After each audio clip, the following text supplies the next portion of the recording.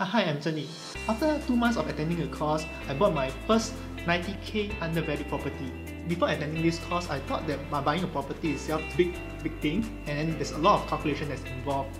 After attending this course, right, they make the complex things easy for me and simple for me to understand, such as the break-even point or even the percentage required and everything. So I managed to learn from it and then actually managed to get my own first property as well.